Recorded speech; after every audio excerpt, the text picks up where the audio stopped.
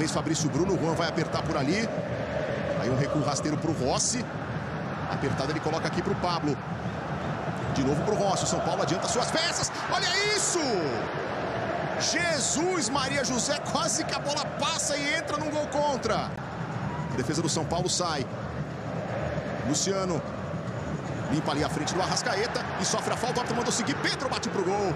A bola vai à direita. Ela chega no Pablo Maia.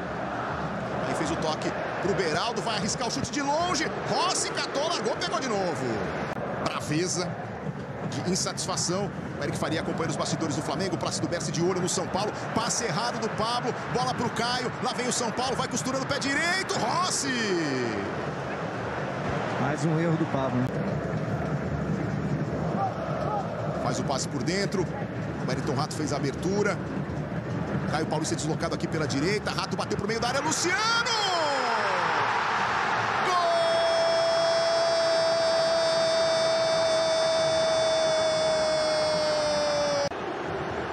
A jogada do Wellington Rato.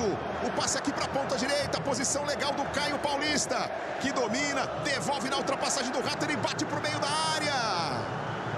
Luciano finaliza de primeira para vencer o Rossi. Para botar no fundo do gol.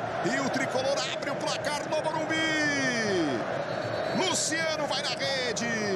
É o primeiro gol do jogo aqui no Cícero Pompeu de Toledo. Ele jogava numa faixa mais adiantada, né? Muito mais de forma ofensiva, mas não era um jogador criativo, digamos assim, né, Vê? Olha a enfiada de bola na grande área. Atenção, Caio invadiu, pintou o segundo. Travado Vai conseguindo vaga na Sul-Americana. Cobrança de escanteio para o São Paulo. Wellington Rato bate na pequena área. Aconteceu o desvio do Pedro. Ela volta para o Pablo Maia. Pisca de longe, manda por cima. Tem desvio no meio do caminho? Tem. Então é escanteio para o São Paulo. No ano seguinte, 14 gols em 31 jogos com o Sub-17 com o Sub-20. E de novo, é, nesse ano, flutuando entre as duas equipes. 13 gols em 41 jogos. Fazendo a sua terceira partida como profissional. Foram 30 minutos contra o Fluminense, 20 minutos contra o Galo. E hoje também entrando aqui. O São Paulo vai fazer mais uma substituição aí, Plácido Berce. Diego Costa vai entrar.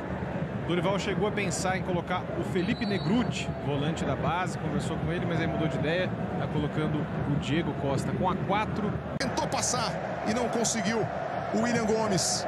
Tá escutando o estádio, né, Vê? É, torcedor do São Paulo está reagindo à informação do gol do Fortaleza.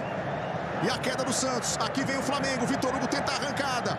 Foi desarmado. Ela voltou para o Arrascaeta. Faz a enfiada. Tirou o Pedro, colocou para o Bruno Henrique. Manda para dentro da área, passou pelo Pedro. Não passou pelo Natan Mendes. Ela voltou para o Alan, disparou de longe, Rafael. Invasão de campo na Vila Belmiro. Os jogadores do Fortaleza saem correndo pelo túnel.